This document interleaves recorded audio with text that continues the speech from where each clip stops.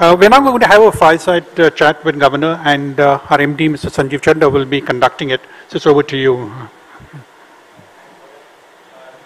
much, uh, Governor, once again for that tour de force.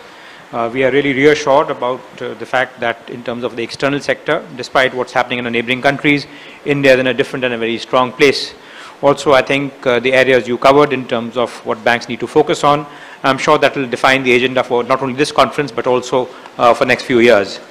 Uh, a few questions, Governor, first uh, on the monetary environment and then a few other areas that you also touched upon. Uh, so first again, it, it, it, seems to be the case that we may be moving now from an era of great moderation to a time of great uncertainty or even perhaps great volatility. volatility in terms of commodity prices, supply chains, supply shocks, inflation and interest rates. Inflation targeting has worked very well in the time of great moderation. However, the question is, is it an appropriate framework during great volatility or central banks need to have the advantage of a little more flexible framework? I think the current framework that we have with regard to inflation targeting has worked very well over the years. We positioned this inflation targeting framework in our country uh, in 2016 and uh, the average inflation, CPI inflation till the onset of the COVID-19 pandemic in February of uh, 20, uh, February of 2020. Till that period, from 2016 to the onset of the pandemic, the average CPI, the headline inflation, if I remember correctly, was 3.9%. Now thereafter, we had the huge shock coming from COVID. And because we have flexibility inbuilt into the target, 4% plus minus 2, so the MPC, as you are aware, decided to use that flexibility, to, use that space to tolerate a slightly higher inflation that is higher than 4%. And that it is that flexibility which is built into the inflation targeting framework that allowed the MPC to, you know, allowed the MPC and the Reserve Bank of India to reduce policy rates, to inject huge amount of liquidity and several other measures which were taken by the Reserve Bank to fight the onslaught or the impact that the COVID was producing, not only on the financial sector, but also on the real economy.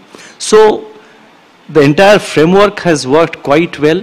And inflation targeting is something which is important at all times. And uh, ultimately, as it is said and as it is well known, the common person, he suffers the most if there is high inflation.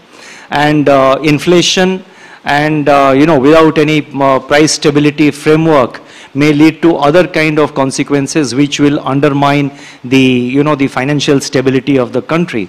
Going forward, unless the central bank is mandated to control inflation and maintain price stability, unless the central bank as a follow-up to this mandate takes steps to adjust the policy rate accordingly from time to time, the negative interest rates will increase. It will act as a big disincentive to savers. It will be a big disincentive for financial savings and less of financial savings will obviously have an impact on the investment outlook or the entire investment climate of any country. Now there are other consequences also. So I feel that because we have under, you know, gone through this kind of crisis, the COVID, and now the Europe, you know, the war in uh, uh, Europe, which has again produced a lot of consequences in the real sector, in the real market, in the real economy. I think having an inflation target and trying to achieve that ensures that the aspect of financial stability, not only in India, but world over, is maintained. And that is the key to maintaining financial stability. And so far as India is concerned, the framework has worked well before the pandemic, during the pandemic, and even now, I would say that we are very much in line with the requirements of time in terms of the steps that need to be taken. So therefore, I feel that it is a, you know, it is a, the framework has worked well and needs to continue.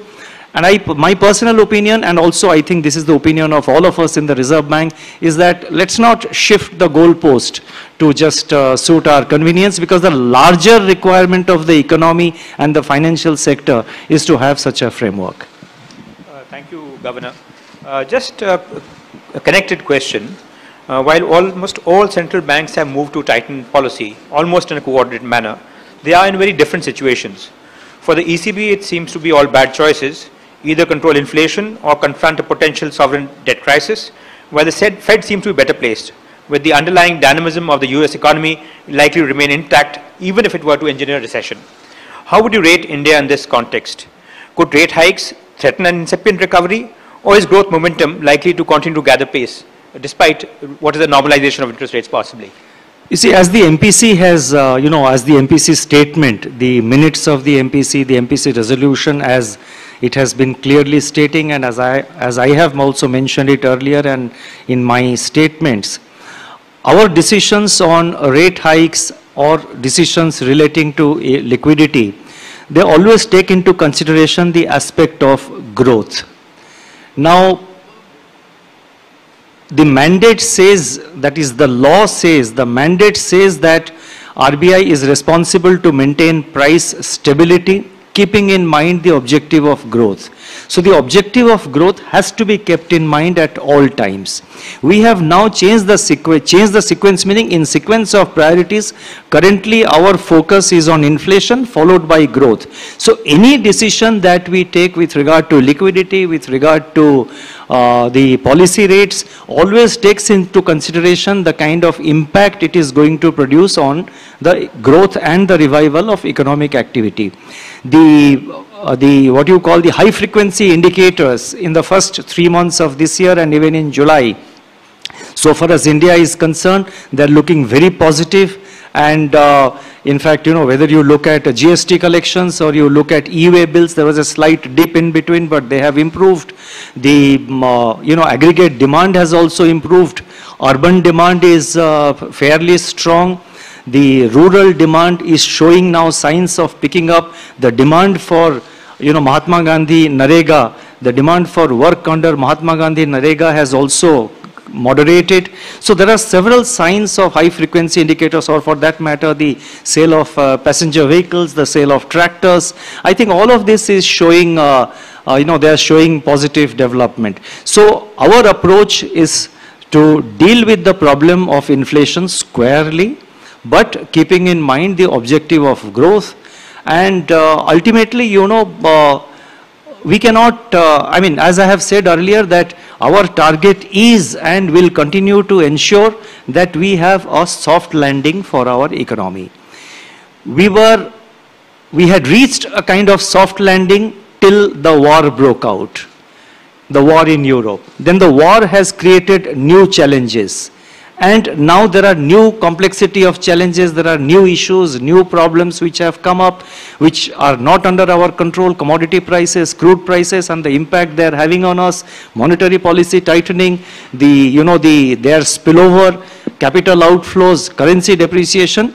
We are dealing with all these issues and our target is and we are confident and our endeavor shall be to ensure a soft landing for our economy where inflation is brought down closer to the target of 4% over a period of time. At the same time, the growth sacrifice is not unduly, you know, the growth sacrifice is also within manageable limits.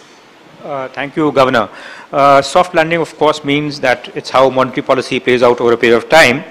Uh, so the question I have is, while the short-term trajectory of interest rates is apparent, there still remains some ambiguity as to where we are in the interest rate cycle. Is it an accelerated normalization of rates which then transits into a rate stability or is it a response aimed at anchoring inflationary expectations, managing the external environment,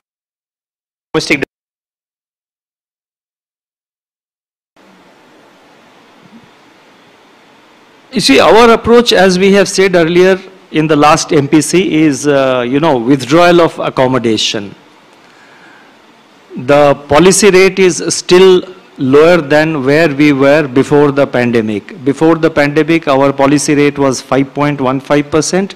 Now the policy rate is 4.9%.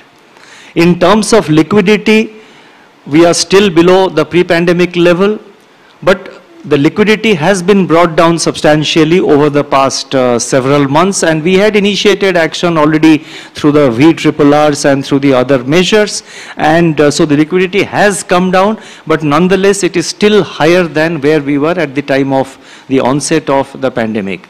Of course, you have a new challenge and a new issues arising out of the war in Europe. So we are still on the mode of withdrawal of accommodation. Our objective is to anchor inflation expectations and that is how we are uh, proceeding uh, forward. What was the other part of your question? That uh, So, so whether demand management is also part of it, or again, because it is largely the temporary factors in terms of the external environment, there's a possibility of retracing the steps that we are taking now. No, our objective, as I can say, you know, as I said, let me just summarize, withdrawal of accommodation, number one. Number two, taking steps and ensure anchoring of inflation expectations.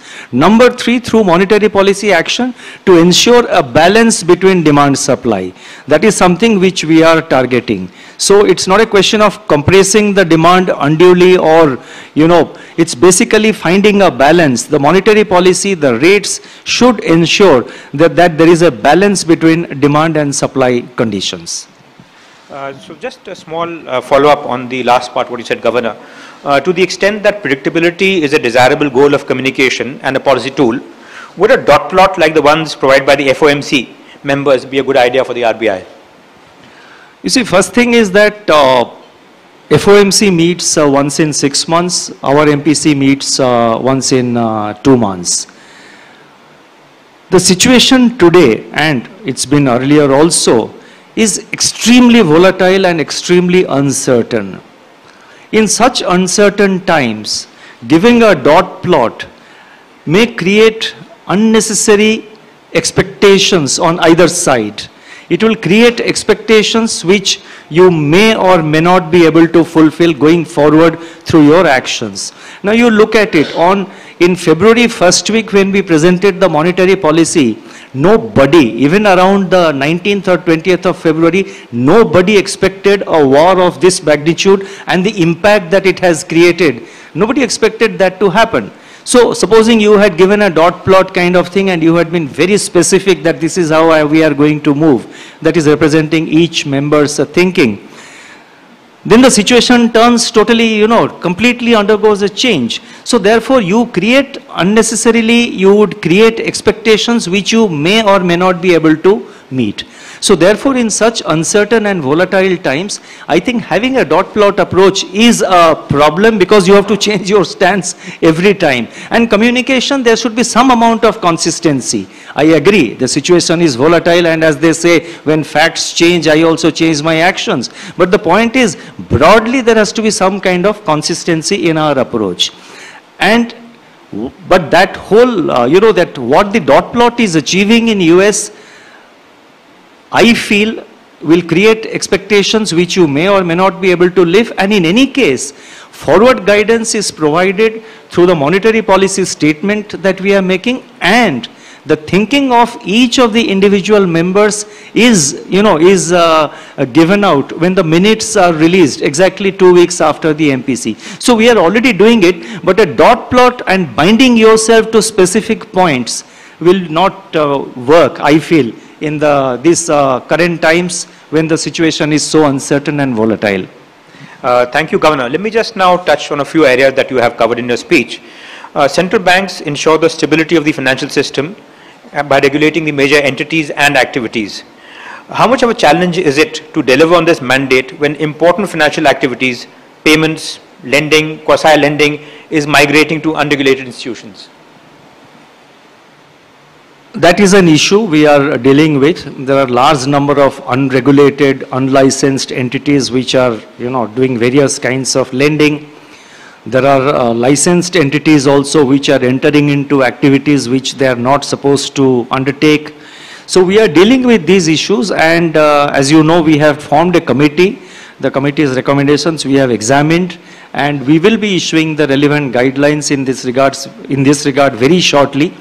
Uh, it has taken more time than we had initially, uh, you know, that than uh, what we had initially in our mind. But the situation is so complex.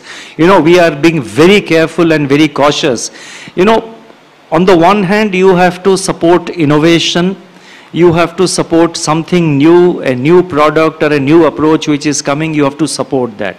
At this other, you know, that is one aspect. On the other hand, you have to maintain financial stability and see that undue leverage or risks are not built up. So therefore, you have to find a very delicate balance and therefore we are dealing with the issue very carefully. I would feel in the next few days it would come out. I have said this even earlier also that we are expecting it shortly, but we have taken more time because the situation, you know, because the entire uh, you know, the, uh, the entire dynamics of the whole thing is very complex and we are being very cautious and we are trying our best to take a very balanced call that supports innovation at the same time that also does not in any manner compromise uh, financial stability or leads to uh, over leveraging or creates unnecessary uh, financial risks. Uh, thank you, Governor. I think you have almost answered my next question. I think when you talked about the balanced call but let me ask it anyway. Uh, RBI itself has recently launched an innovation hub, which the governor inaugurated. What role do you envisage for the central bank in terms of promoting innovation and technology? Is it twofold? One is that we have certain thoughts and ideas in our mind, especially relating to the payments space and other kind of fintech initiatives. As you know, we have a regulatory sandbox and already number of uh, products uh, uh, which were you know part of the regulatory sandbox. The trials have been completed and we have said that we are okay with it. Now it is for those players to take it forward. So number one, we have certain priorities. We feel that there are certain you know areas, particularly in payment systems, in ensuring uh, you know that uh, without internet or uh, in what best way we can improve the entire payment ecosystem in our country. On the other hand, there is a lot of new innovations, new initiatives, startups, they're all coming up with, you know, fantastic ideas and new ideas. So therefore, the innovation hub, number one, will focus on our priority areas. Number two, they will also themselves, because it's an autonomous board and they have complete uh, freedom uh, to sort of decide the priorities. They also suggest ideas to us that RBI should look at this. So first is to try and work on those areas. Second is to work and partner with the private sector initiatives and uh, you know all that is happening in the startup ecosystem and in the innovation ecosystem to work with them and try to sort of provide incubation facilities so that the startup companies or a startup entrepreneur is able to commercialize his product and uh, take it forward. Uh, the Bank of International Settlements, the BIS, has set up innovation hubs in multiple places. Uh, we had the option of uh, uh, trying and getting one of their, uh, you know, centers in India, but we decided to go on our own because if we are on our own, we have two advantages. Number one, we have flexibility. We can do whatever we want. Number two, we can always leverage on what the BIS is doing because there is constant dialogue also with the BIS Innovation Hub. So therefore, that is something uh, which we have launched as RBI as an RBI institution, and uh, already the board is functional. And uh, as far as I know, I have uh, I have been sort of tracking what all is happening. I think the developments are looking very promising. Uh, thank you, Governor. My last uh, question would uh, really cover what you have covered in the last part of your address in terms of banking and banks beyond tomorrow. So banks have emerged from the pandemic uh, in reasonable shape. What might be the residual concerns of the Reserve Bank and what are the key enhancements that the RBI might have it on its agenda for next few years? No, there is a room for constant improvement. Uh, during the last uh, three years, notwithstanding the pandemic, the lockdown, etc., as you know, we came out with a new document, we came out with certain guidelines for uh, relating to governance in uh, commercial, scheduled commercial banks. We have come out with a new regulatory architecture for microfinance lending, a new regulatory framework for NBFCs, a new regulatory framework very recently relating to the urban uh, cooperative banks. So constantly we are endeavoring to sort of see that uh, the banks in terms of risk management, in terms of governance, in terms of uh, you know, responding to the changing needs of the time, the banks are in a position to sort of move forward. But then our intention is not to interfere at all in any commercial activities. The banks and their technology teams, their commercial teams, their uh, risk management teams are sufficiently capable of dealing with all these issues. But as a regulator and supervisor, we have to ensure that overall the financial stability is maintained. Now, there are new challenges coming up with regard to financial stability from time to time. So we have to keep close track of developments in individual banking entities as well as what's happening in the entire ecosystem.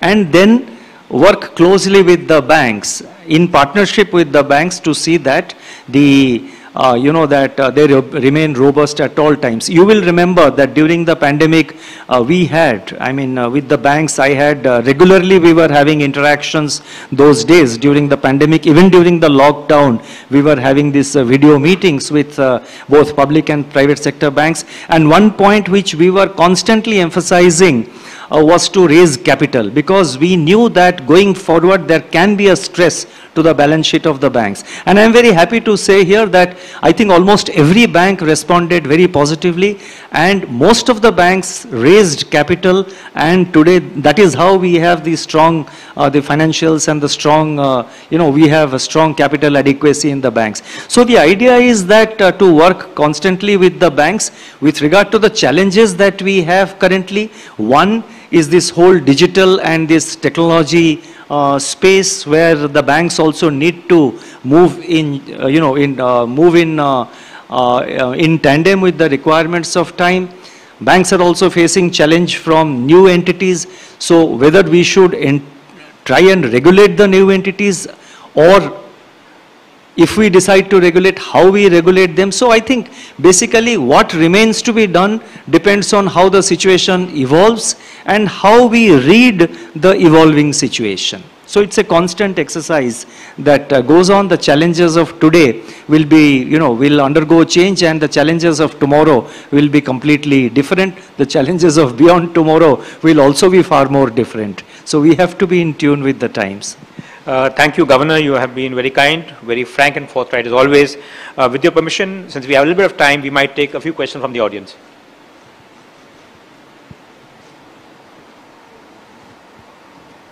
I think somebody is there asking. He's asking where.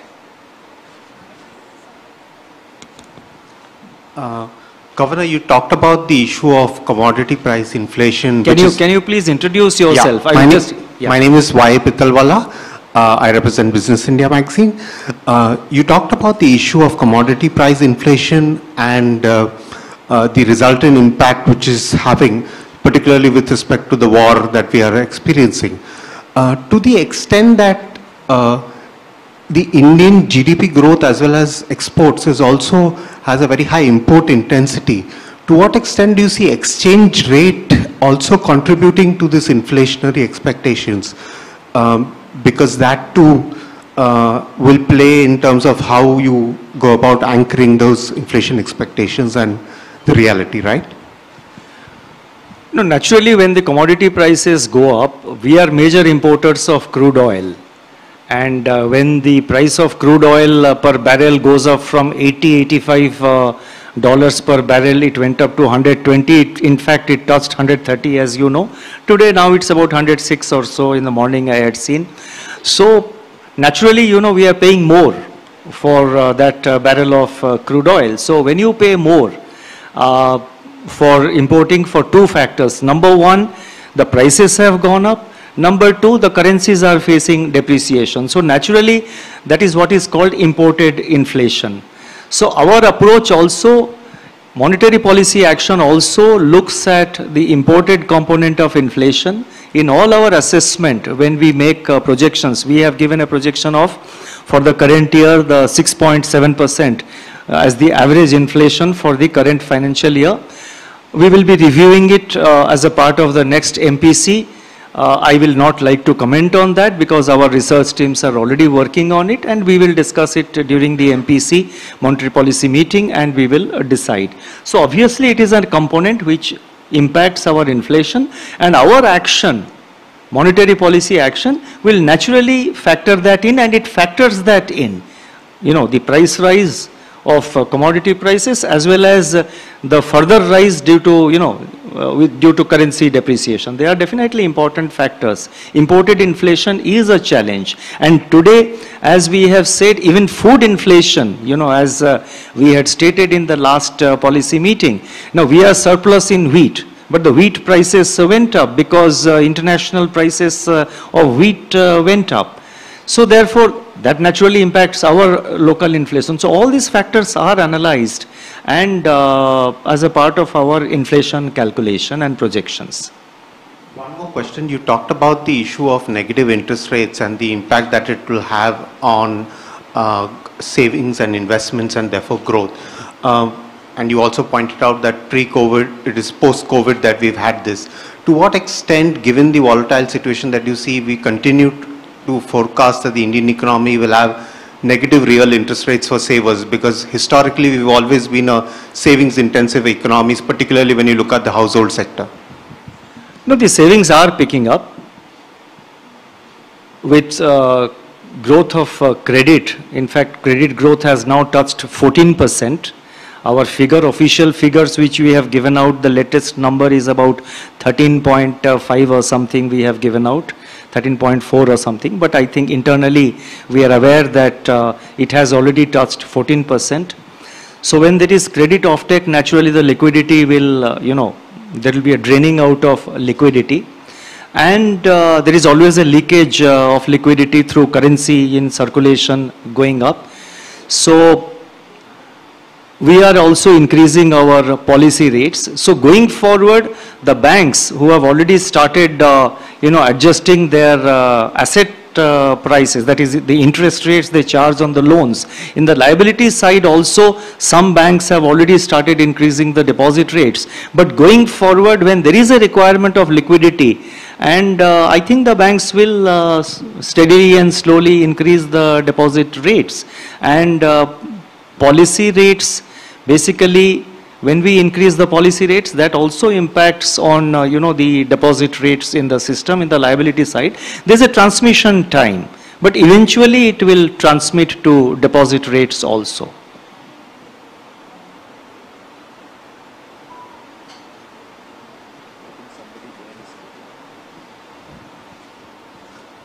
Yeah, yeah. Uh, uh, good, uh, sorry. Good morning.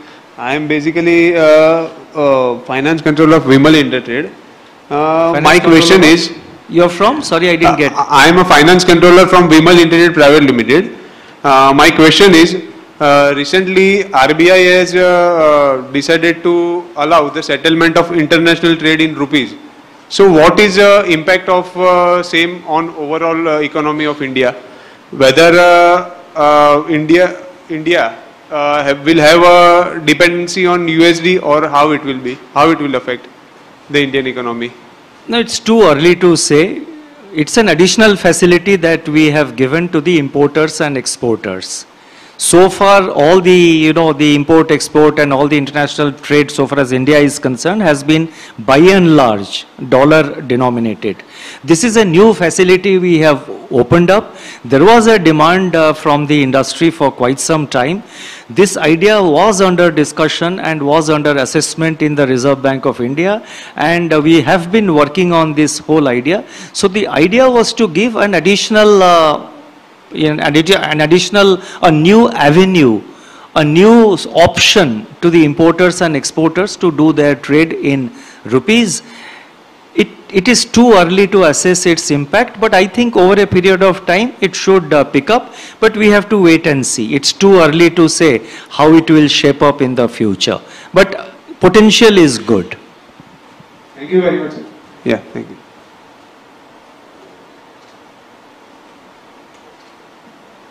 Uh, Good morning, sir. I'm Arundhati Bhattacharya, CEO You of need no introduction. So, Thank you. Uh, Sir, uh, first of all, thank you for your very reassuring and erudite speech. It is very reassuring to hear the kind of things that you said from this podium. Uh, What I really wanted to ask is on uh, climate change. You mentioned that as one of those events that are, you know, definitely going to impact us. Uh, India has, on the whole, overall as a country, given a net zero goal for itself, uh, which is way out. Uh, you control a very large sector of the economy. You are the regulator for the BFSI sector. And the BFSI sector in turn lends to many of the industries that are, you know, very far from, you know, achieving net zero status. We also know that in India, mandates work best.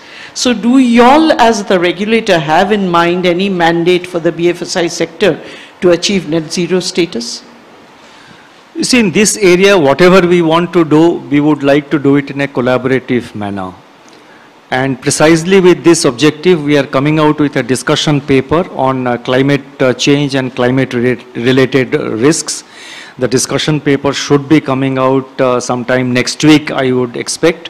And uh, based on that, you know, it's a discussion paper, so we would like to get suggestions, ideas from all stakeholders. And after getting the ideas and inputs, then we will examine them internally and we will go forward. We'll move forward. You know, so far as the climate change uh, targets are concerned, I think India has done very well. All the goals, all the milestones for India under COP26 have been achieved. Quite a number of developed countries have not done that, but India has achieved all the targets under COP26. I mean, having been a Sherpa for G20, uh, you know, I keep still keep track of what's happening in uh, these areas. So we have achieved all our mandate, and uh, India has a target of net zero, which you have uh, mentioned. We have to move in a very calibrated manner. There is the aspect of not compromising on growth. There is not a, as there is the aspect of not sacrificing too much of growth. There is the aspect of looking at the costs. At the same time, there is the requirement to give due and sufficient priority to climate related risks. So a balanced approach as always needs to be taken. Uh, I would look forward for very valued comments from uh, you know, senior bankers and other stakeholders, academicians and uh, uh finance and uh, finance professionals and others on our discussion paper. When it comes, we will, uh, uh, you know, we don't want to be too prescriptive without having a proper consultation. Our approach has been consultative. We will consult and then move forward. So the IT industry can definitely contribute hugely. We'll look forward to doing that. Sure, Thank definitely, yeah. So, good morning, uh, Governor and Sanjiv sir. Uh, my name is Mohit Deegan. I am currently employed with MasterCard, but my question is not from that perspective.